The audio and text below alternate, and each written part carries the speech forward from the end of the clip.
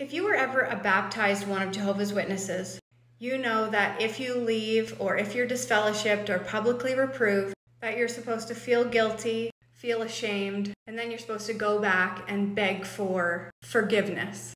Here's the thing what if you did nothing wrong? What if they were in the wrong? They instill so much fear into people that if they speak up about what they saw, what they heard, or their experiences, you'll be then called an apostate.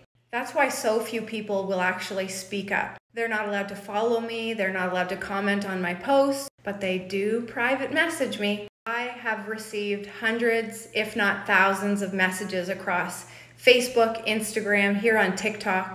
The story I'm about to share with you is not rare. It happens in every congregation worldwide, but they're just too afraid to speak up. So here we go. We're going to call uh, this woman Mary. You can insert any name you like. We'll call her husband Doug.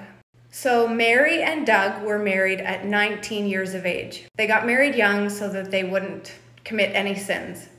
The abuse started from day one lying, stealing, financial abuse, verbal and sexual abuse. Extremely controlling. Doug was an elder, which means a leader in the Jehovah's Witness congregation, which made Mary an elder's wife. Mary even caught her husband with another woman, which he told her was a shepherding call. He said he had to keep it confidential.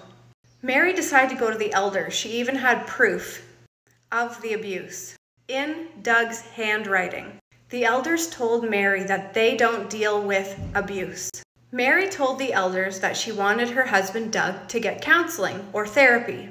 Not too long after, the elders gave a local needs part at the meeting saying that therapy and counseling is dangerous. They ended up moving to a different congregation. Mary went to these elders. Same answer, the elders said they don't deal with abuse.